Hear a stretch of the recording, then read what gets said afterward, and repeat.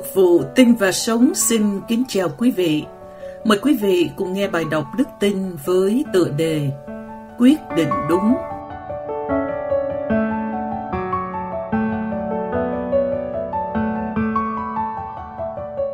Ở thị trấn nhỏ Osloden của Nam Phi, có một đôi vợ chồng nọ.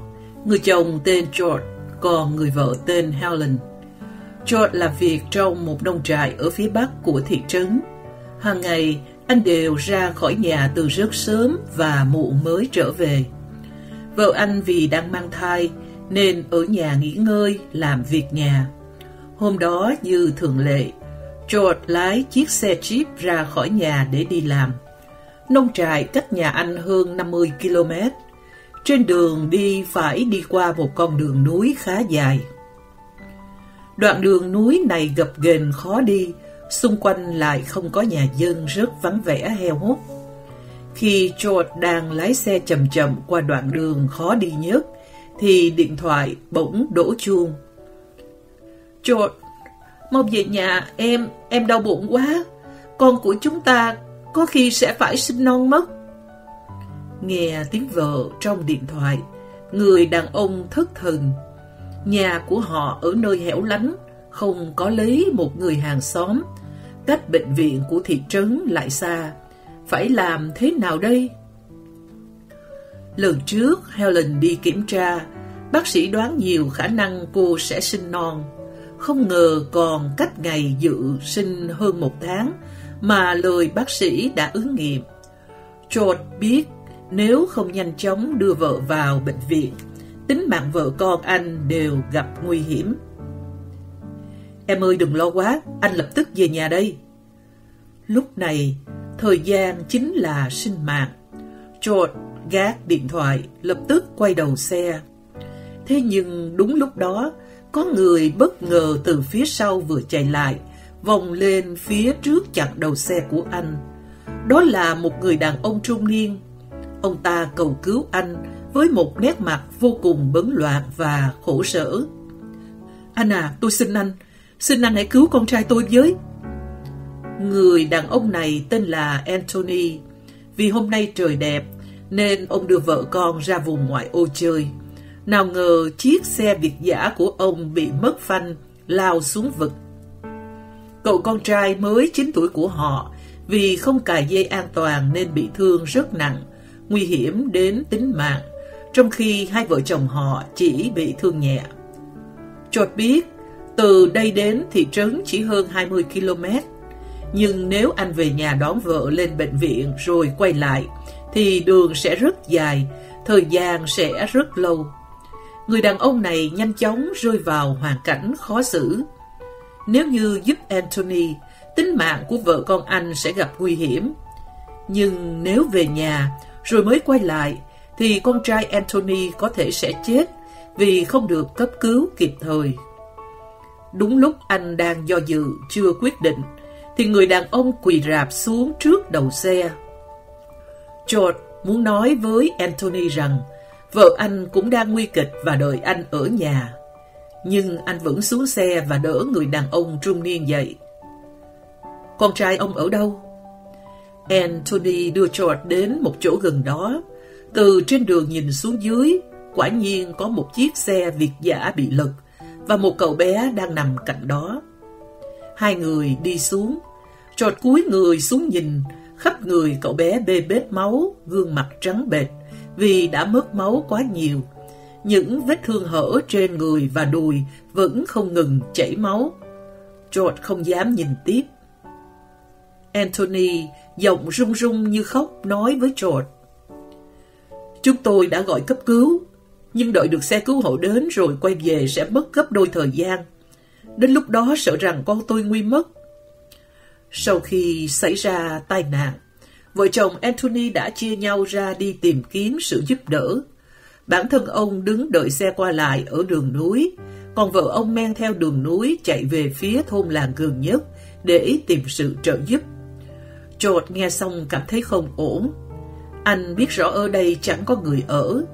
Nơi có người ở gần nhất chính là nhà của anh, và cũng chỉ có mỗi anh là có một chiếc xe Jeep mà thôi. mau đưa thằng bé lên xe. George nói lớn. Trải qua một hồi đấu tranh tư tưởng, cuối cùng anh đã ra một quyết định vô cùng khó khăn. Cứu con trai của Anthony. Anthony vội vã ôm con lên xe. George khởi động xe lao như bay vào bệnh viện. Vừa lái xe, anh vừa vồ lấy chiếc điện thoại vội vã gọi điện thoại về nhà, hy vọng Helen nghe điện thoại và cố gắng chịu đựng thêm chút nữa.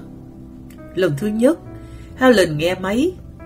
Tiếng rên xiết đau đớn của cô như kim đâm vào tim George. Anh ở đâu rồi? George kìm nén nước mắt đáp. Em yêu, anh xin lỗi, em cố gắng thêm một chút nữa thôi. Cách vài phút sau, anh lại gọi điện thoại cho vợ. Giọng của Helen trong điện thoại yếu dần. George cố cầm nước mắt, liến thoáng thì thầm trong điện thoại. Em yêu, thương lỗi cho anh. Anh không thể nhìn thấy chết mà không cứu. Mong Thượng Đế phù hộ cho em và con. Nhờ được đưa đến bệnh viện kịp thời, con trai của Anthony được các bác sĩ cấp cứu qua cơn nguy kịch. Lúc đó, George cũng cảm thấy được an ủi. Nhưng cảm giác đó không át được nỗi lo lắng về Helen trong lòng anh. Lần thứ ba, gọi điện thoại về nhà không ai bắt máy. Nước mắt anh trào ra. Anh biết không có ai nghe điện thoại. Nhiều khả năng vợ anh đã gặp chuyện chẳng lành. Lái xe như bay về đến cổng. Đột nhiên, cả hai nghe thấy tiếng khóc oa oa của trẻ con vội vã chạy vào nhà. Cảnh tượng đầu tiên đập vào mắt anh đó là Helen đang bình an nằm nghỉ trên giường, trên người đắp một chiếc chăn. Ngay trên đầu giường cô nằm là con của họ, một em bé đáng yêu vừa ra đời cách đó không lâu. Và ngồi cạnh giường là một phụ nữ nét mặt mệt mỏi, đang nhẹ nhẹ dỗ dành đứa trẻ. George vừa kinh ngạc, vừa vui mừng khôn xiết. Khi đó, Anthony cũng đã bước vào nhà. Ông tiến đến ôm người phụ nữ, giọng cảm kích.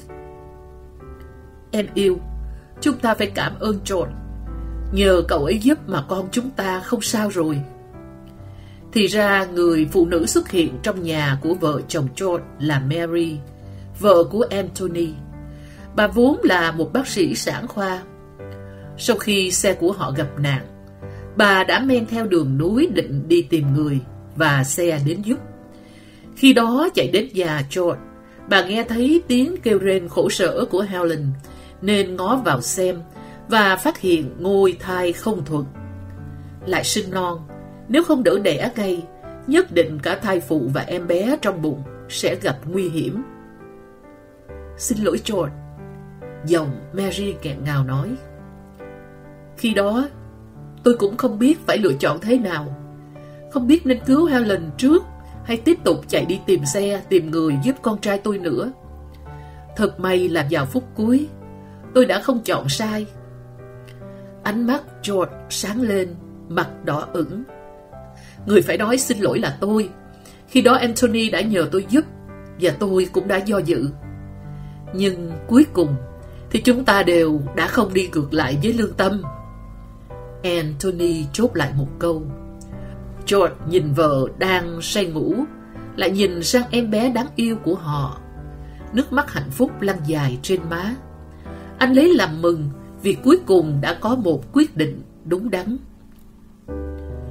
Câu gốc suy gẫm Vì chúng ta là tác phẩm của Đức Chúa Trời, được tạo nên trong Chúa Cứu Thế Giêsu để làm những việc thiện lành, là việc Đức Chúa Trời đã chuẩn bị trước cho chúng ta để theo đó mà tiến hành. Epheso đoạn 2 câu 10 Chúa yêu thương bạn. Amen.